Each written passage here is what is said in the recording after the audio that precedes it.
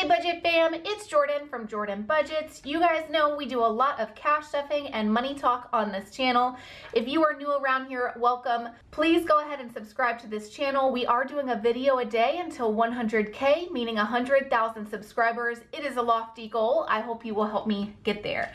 We are super close to 20,000 though, guys. I am so excited, but to the point of this video, today we are gonna talk about how to start budgeting. The very first step. On this channel, we do a lot of what I consider to be the fun side of budgeting, and that is cash budgeting. We play with our budget binders, we move around our money, we talk about making money. But when it comes to your budget, there is something that you really, really, really need to do as step number one. Step number one of budgeting, whether you're cash budgeting or budgeting all virtually and through your bank, you need to track your spending. So this is my sticker kit for last month for the month of May. We are going to be using this layout as an example. You absolutely do not have to buy a sticker kit or buy anything to do what I'm mentioning here though. So let's talk about it and go through all of my exact numbers. I'm sharing with you guys everything I actually spent, everything I have actually made. Now we do have one week left in May at the time of filming this, so there's still a little bit to happen for this month, but I wanna share my reality with you guys for my personal life as well as my business expenses. So here it is. This is all of my bills and spending for the month of May. I will tell you guys right off the gate that the month of May was mad chaos for me. I did abruptly move. I want to say it was like the last few days of April. I was accepted for a house, but the condition for me renting this house was that I had to move in the start of May. So I'm basically paying bills for two places this month and typically I have kind of set up all of my bills to come out at the start of the month. You'll see it's scattered a little bit and the bills are much higher than usual. Okay, before we talk about my numbers exactly, let's talk about what this is and why this is step number one of budgeting. First off, you want to track all of your bills, all of your saving, all of your spending. The way that I break that up is all of my bills are the yellowish tan. I don't know what this color is, but all of my bills are this tan color. If you don't have the sticker kit, you could easily just use a highlighter. You will see down here some of the things in here are highlighted colors. So fast food for me is these gray purchases, stuff like if I've got something on Amazon, if I needed something, it is all this yellow orange color. You'll see some purchases here and there. Variable spending for me is my gas, groceries. For me is also fast food, but I changed the colors just for this layout just to differentiate fast food because to me that's the really wasteful spending that I try to keep under control. But variable expenses shown here in that color is all of my gas for my car and my grocery fees and expenses.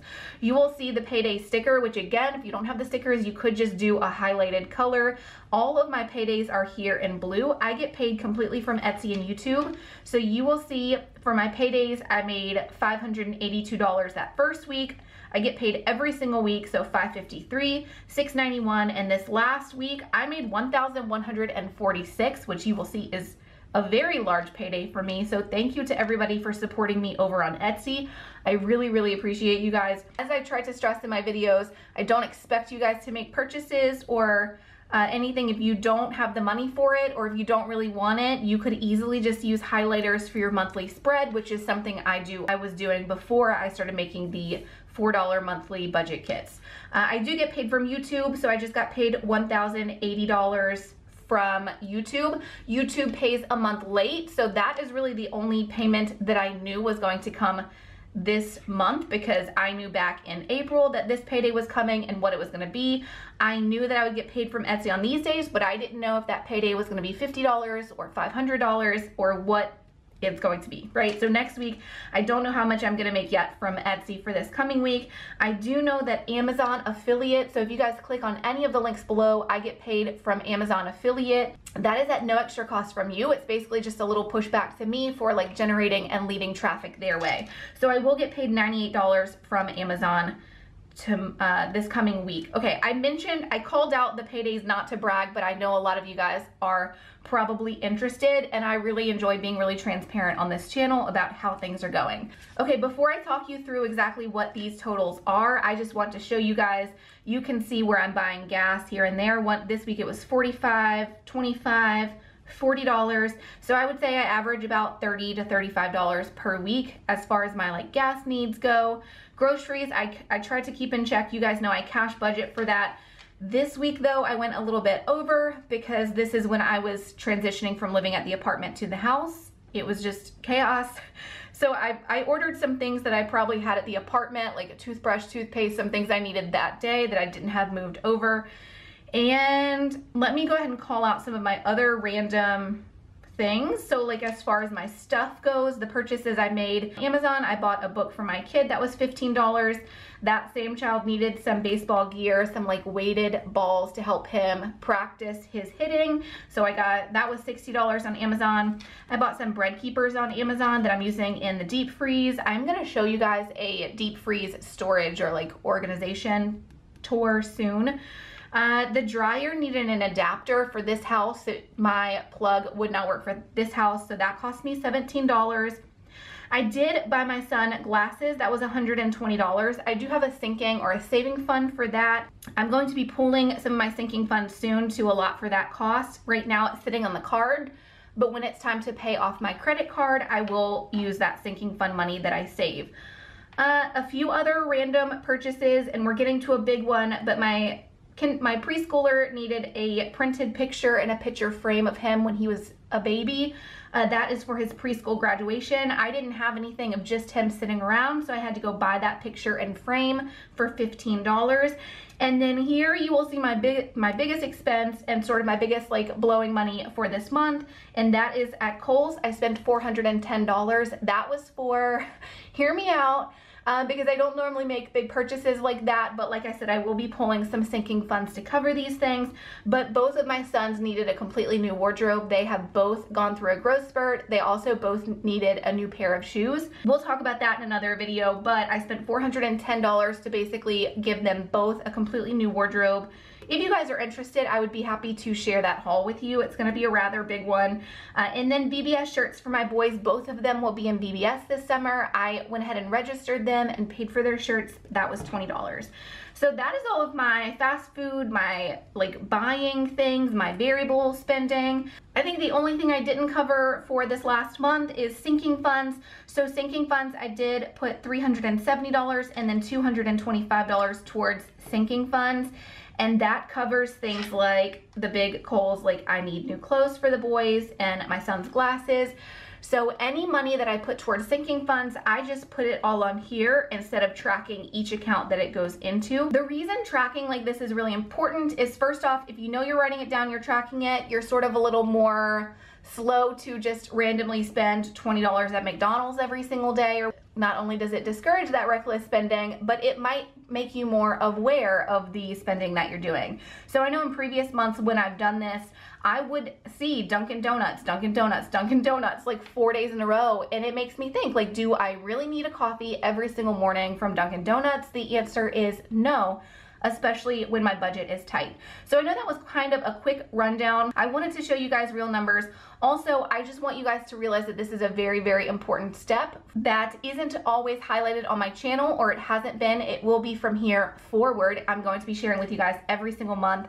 But if you are, if this is not something you are already doing, definitely track your bills, track your spending to see what you're spending money on. Now, I didn't really call it out that clearly, but I do have my new rent and my old rent. I have internet at both houses for this month. One was to end service, the other one was to start service. And the other thing is um, water and gas. So water was pulled through my apartment previously, so I didn't have a separate water bill. The apartment would just bill me an extra $30. It was just like a fee that was added on. And then my apartment did not have gas hookup, so I didn't have to pay that. Water and gas for me this month was 180 and then 130 because there were fees to hook them up in my name. I wasn't super excited about that but basically calling out the bills because you guys are about to see I have gone over budget. Ideally, you want all of your money coming in to equal all of the money that you're spending on everything else and putting in your sinking funds. I like to balance everything out. So like if I make $4,000 one month, I want to see that $4,000 is completely tracked on here. That tells me that I'm tracking everything down to the penny It doesn't tell me I'm spending everything down to my penny though because I want to see sinking funds going in every single week because that's not money that's necessarily just spent and gone. That is money that is in our cash binders and it is in our bank uh, savings fund, savings account. That's the word. the other thing I have tracked over here is business expenses. I am going to go ahead and call that out because that might be interested to some of you that are running a business. There are fees that come with running a business, right? So I have instant ink charges. I do use Canva. Wix is $20 and I just switched to Squarespace. So I have fees for both. Wix will be hearing very soon. I did purchase the lights that are being used in this video because this is a very dark room. So I felt like it was just really important for me this month to get new lights. I will link them below if you're interested. I really like them. Uh, I did need some new 9x12 mailers, so I bought those for $45. I paid an editor for some of my videos. For some of my cash stuffings, I do have an editor that I call on occasion. Uh, he's He has been such a blessing. He's not somebody that I use all the time. But if I'm crunched for time, y'all know I'm homeschooling. I, I have little kids. I'm a single mom. Sometimes I do call on that editor and pay him to edit some of those cash stuffings. I do have some Adobe products that I use, that's $16, and then like I said, Squarespace was $65 for this month. Okay, something I like to do just at the bottom here where there's spare extra space, I will total out everything that I've spent, everything that I'm putting towards sinking funds, and everything that went towards bills. So because this month isn't done yet, I don't want to total that out. I'm just gonna do that on this sheet of paper for you guys to see basically what all has been paid, or is coming because in this payday I'm going to include the $98 that is coming from Amazon. The only payday that's missing for this month is Etsy that will come in next week. So for pay this month, I did make $4,150. So I'm being very transparent here. My pay on Etsy and YouTube totaled $4,150 so far for this month. And I do have the one more Etsy payment coming. Again, thank you if you support me over on Etsy. That's all you guys. Uh, business expenses. I spent $463 on business expenses for this month. So again, we're just gonna run through the totals of everything. For fast food, I spent $56 for what I'm gonna label as stuff, meaning like things for my son for baseball, the pictures in the frame, that kind of just stuff, including the clothes haul that is coming hopefully next week it'll be here but I did spend $681, the bulk of that being for clothes for my sons. That should last them the next four five months. And then variable spending, meaning gas and groceries, I spent $636 for variable spending. So all of that totals, let's see, $1,836. Towards sinking funds, we like to put sinking funds in every single week. We haven't put our sinking funds in yet this week. Honestly, I'm not sure that we will just the way this month is going. And then y'all know because of my move, I did not have a sinking funds cash stuff stuffing go up on the 6th and I didn't put money into those accounts. So for this month in sinking funds so far and probably total because you will see bills absolutely wrecked us this month but sinking funds we put $595 into sinking funds and then for bills, because we are paying bills at both the apartment and at the home, bills this month were 3000 and $4. If you were to add up how much I've made this month and then how much I've spent this month, you will realize that the numbers do not work together at all. So this month I spent $5,435 and my pay this month again was the 4,150. Of course, I am gonna get paid Etsy next week, but that money for next week is going to need to last us for next week. And if we have anything extra from our, like what we need for our variable spending, we will put it into sinking funds. I will say this is highly unlikely for me because at this stage I do typically have my budget really together. I have things pretty balanced, but paying bills at both places really just threw me off. I didn't even put in here too though that I had a security deposit that needed to be placed on the house and I had a thousand dollars fee to cancel the remainder of my leased in good standing at the apartment. So there's $2,000 in the hole here that's not even laid out here. I will be rearranging the binders later this week. Likely it will be the video on Friday. Instead of putting money into sinking funds, we will probably just be rearranging our binders and pulling some money to pay ourselves back for some of the bills and things where we're a little bit in the hole, right? I, did that make sense? Hopefully that makes sense. So for curious minds, you can pause this if you would like to see exactly all of my expenses and all of my pay. I think I've called everything out though. My phone is doing some things. You're gonna go ahead to June. You guys know I like to use my monthly spread. We are going to put the June sticker kit. This is the $4 kit that I have listed in the Etsy store if you're interested. We are just going to take this out and set up our June budget kit. So I will have something to use for June for tracking expense, expenses. And you guys, of course, just like I'm sharing a May recap with you now, I will at the end of June share a recap of June then. So if you would like to see me set up my June budget sticker kit and then chat with you guys about the expected paydays I plan on having, then stick around for just a couple more minutes and I will be right back.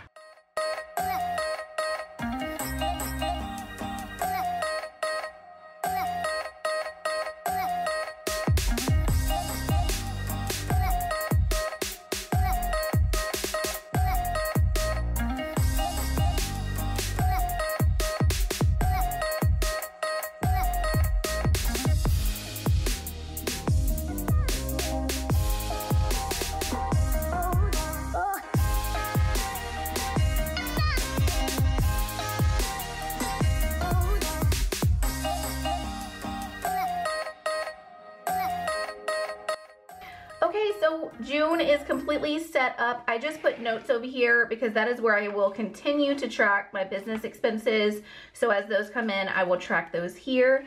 I did just receive my YouTube check for this month. We're still at the end of May, so I went ahead and paid rent. My gym did come out automatically, so I've already paid that, so I can pull that from my cash budget binder and replenish my bank account, and the same thing for internet. So these three bills are actually already taken care of. On the first, I will be taking care of the home insurance that I have for $28. The only bills that I have that come later in the month are Walmart delivery and Disney Plus. Okay, so let's talk about bills really quick because I get this question all of the time, but people ask me how I cover the bills and make sure they come out at the start of the month.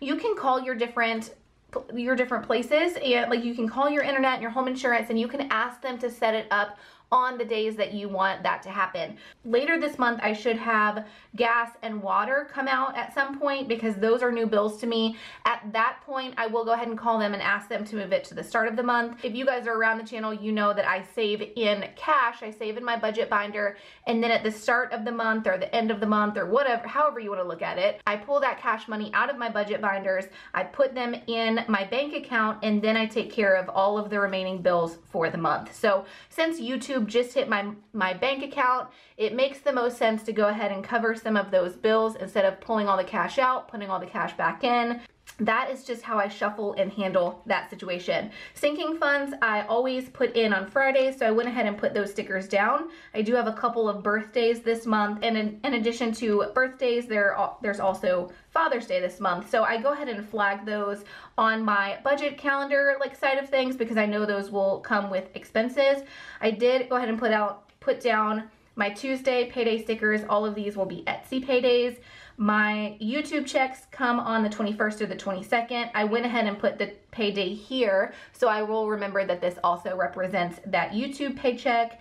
And then this very last sticker is to represent the Amazon affiliate. I get that every single month and it's usually somewhere between $100 and $50. It's not a lot, but I go ahead and put that there to know that I should expect it to come. Did I cover all the things? I think I covered all the things. I do have the new stickers for this month that will be in future kits as well as the little shopping carts and the little cars. That Those will represent my grocery hauls and me getting like gas for the car and stuff. So that is it for this video. I hope you guys are excited to kind of get a behind the of my full budget. Sometimes what you see on paper doesn't always exactly match up with cash. Clearly the goal is to make sure everything matches up, but real life, I mean, sometimes things happen. You guys will see me on Friday shuffle around my budget binders to get things back to where they need to go because obviously all these bills were kind of unexpected for this for the month of May. So that is it. I hope that you guys have a wonderful afternoon. Thank you for spending your time with me. And as always, I love you guys and I will see you again very, very soon. Bye-bye.